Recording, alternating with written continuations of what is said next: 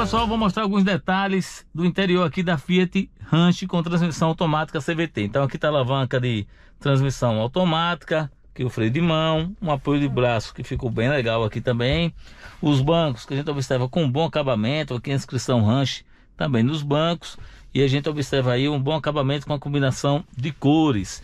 Né? Esse é o acabamento aqui do banco, esse interior também com muita presença de plástico, mas com a combinação aí de várias duas cores, o black piano, central multimídia e outros detalhes. Vou colocar aqui a chave, chave canivete, já liguei aqui o veículo, ele vai dando essas mensagens aqui, essas mensagens iniciais aqui pra gente.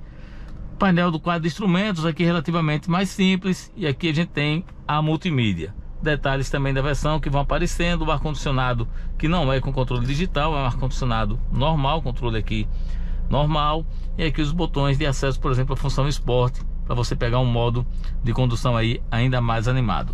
Fazer o ajuste aqui do volante. Você só tem ajuste de altura, você não tem ajuste, por exemplo, de profundidade, mas você encontra o ajuste aqui no banco, aqui na parte central, ó. Você tem o ajuste de altura do banco, onde você consegue fazer a regulagem. Aqui do lado esquerdo, presença continua sendo toda de plástico, os vidros automáticos, aqui você tem o acesso da porta, aqui você trava e destrava as portas por aqui, tá? Diretamente nessa alavanca, algo que relativamente tem mudado, mas nessa versão da Fiat ainda continua. E aqui os detalhes do interior, a presença de plástico, né, a chave canivete. Então esses são os diferenciais. Vou aproveitar também para dar uma olhada aqui no quadro de instrumentos para ver as informações do veículo. Aqui então a gente tem informações do veículo, temperatura externa 33 graus, Informações do veículo, que a gente está olhando 33 graus, deixa eu ver o que, é que a gente pode olhar mais ali, ó. É, horas do motor, a gente está visualizando temperatura do líquido de arrefecimento e também pressão dos pneus. Aqui o que é um computador de bordo, temos 142 km ainda de autonomia, tá? O consumo médio de 9.5 km por litro utilizando etanol numa distância aí de 1.281,7 km e um outro consumo aí uma distância menor de 223,6 km, fazendo consumo médio de 6,5 km por litro, principalmente aqui no uso urbano. Então essas são as informações que você tem aqui no computador de bordo. Você pode ver também configurações de áudio, mensagens, configurações de veículo, mas eu vou manter o velocímetro aqui na parte principal.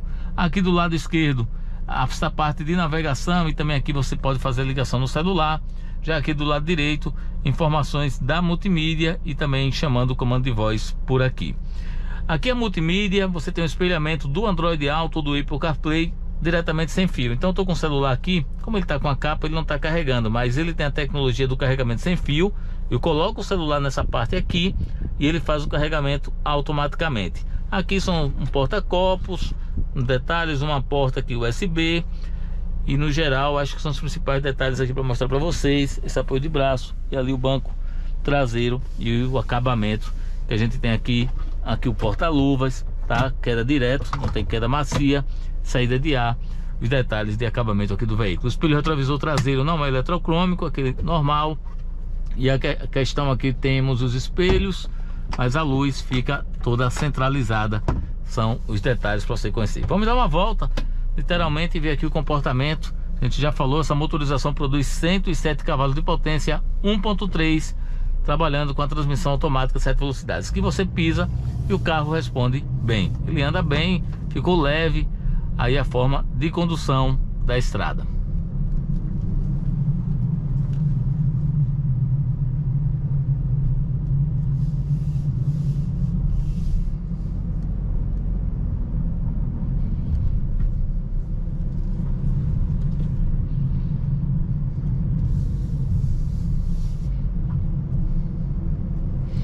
Vou aproveitar também aqui que a gente está no estacionamento e mostrar a saída, como é que fica a visão do carro à noite, tá? Vou pegar aqui uma posição de saída. E vocês vão poder visualizar aí o aspecto do carro também com a visão à noite quando tudo escurece.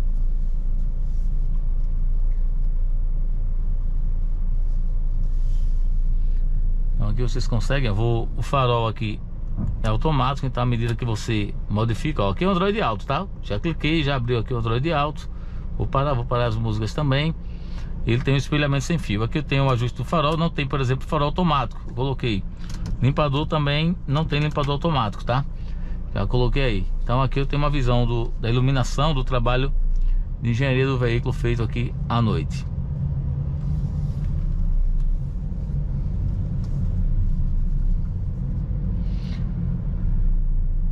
Então esses os principais detalhes aqui do interior. Não tem tanta novidade para a gente estar tá falando aqui para vocês Fora o carregamento celular sem fio e claro A transmissão automática CVT Depois aí eu vou aproveitar e mostrar mais algumas imagens Conduzindo a Fiat Estrada com a transmissão automática CVT E convido você para acompanhar na sequência desse vídeo Dirigindo com Tarcísio Dias Onde eu mostro, onde eu mostro todos os detalhes da condução do veículo Mas sem, sem nenhuma novidade.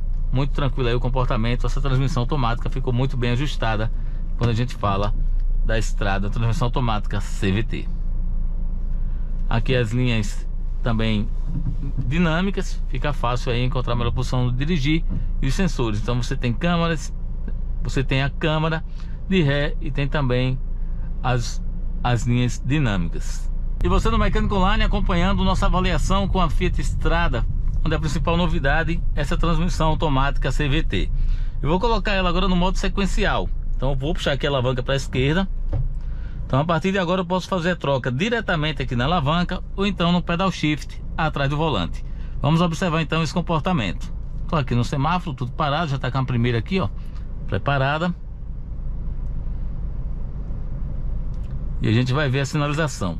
O celular está carregando, nesse momento está piscando porque como ele está com a capa ele não fica carregando. E o restante aí não tem muita novidade para a gente estar tá mostrando para vocês sair aqui em primeira. Vou fazer a troca no pedal shift, tá? Então já aparece um indicativo aqui para mudar de marcha. Pedindo para voltar terceira. Já pediu quarta.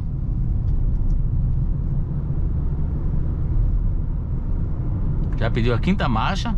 A gente já está em quinto aqui.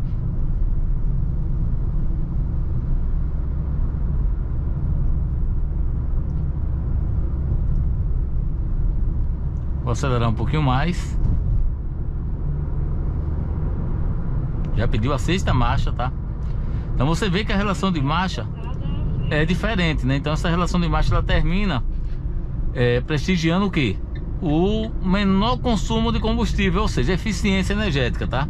Esse é um detalhe importante no comportamento dessa transmissão automática. Tá pedindo para reduzir, ó. Reduzir já para quarta. Reduzir para terceira. Pediu para subir a marcha. E o bom é esse indicativo aqui de marcha, né, você vai rapidamente aí se ajustando a condução. Isso para quem quer dirigir de repente aí no modo sequencial, né, fazendo as trocas de marcha, no caso aqui no pedal shift atrás do volante ou então aqui na alavanca. Vou mostrar também para vocês aqui na alavanca. Colocando para cima, eu diminuo a marcha, para baixo eu aumento a marcha.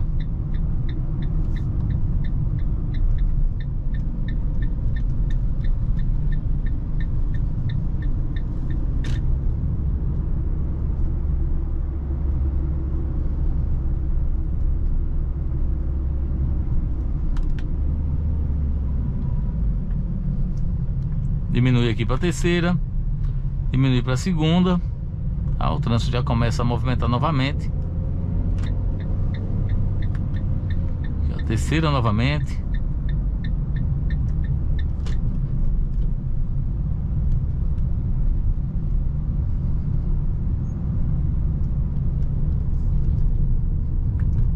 Quarta.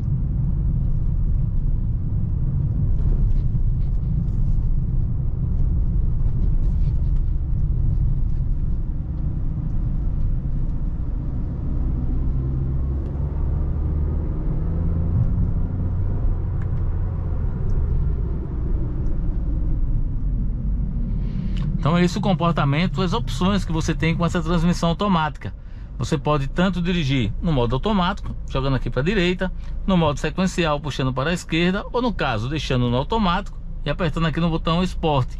Então aparece aqui a mensagem esporte ativado e aí eu tenho um comportamento ainda mais dinâmico na Fiat Estrada com a transmissão automática CVT.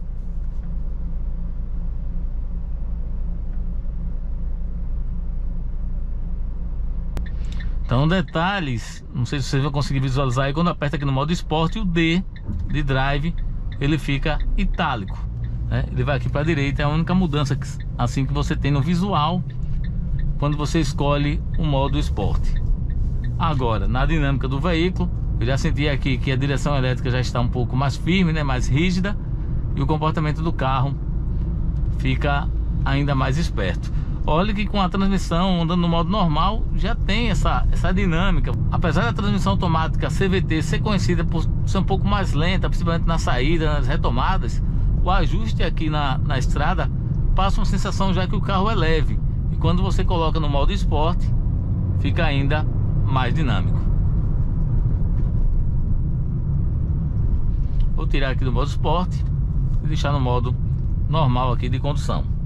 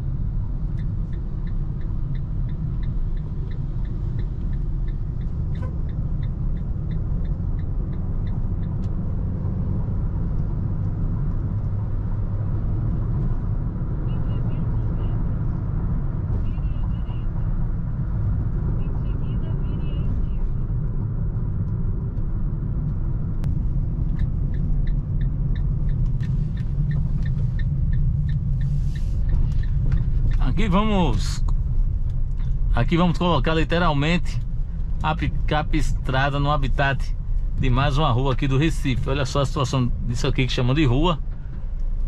E a picape consegue absorver bem aí todas as irregularidades da pista. E deixa eu aproveitar já que a gente está parado mesmo que a gente tenha multimídia com espelhamento do Android Auto ou do Apple CarPlay sem fio diretamente aqui na tela. Então vou aproveitar para navegar e você visualizar um pouco aqui os aplicativos, tá? Então não tem novidade, isso aqui já é bastante conhecido aí todo mundo. E você tem um Android Auto, por exemplo, eu estou utilizando aqui a navegação e você tem todas as informações aqui diretamente. Já o seu celular, se ele tiver o sistema de tecnologia de carregamento sem fio, pode ficar aqui nessa parte inferior. Ou então, ligando aqui nessa porta USB, você faz o carregamento diretamente via cabo com o seu celular. Então isso pessoal, chegando ao final de mais um Dirigindo com Tarcísio Dias, dessa vez mostrando os detalhes de acabamento e de funcionalidades da Fiat Strada na versão mais top, a versão mais completa, que chega com motorização 1.3 Firefly e a transmissão automática de 7 velocidades. Vou agradecendo a você que acompanha nossos vídeos, que compartilha em suas redes sociais. Até o próximo lançamento, até a próxima avaliação aqui no Mecânico Online. Valeu galera, um abraço, tchau, tchau.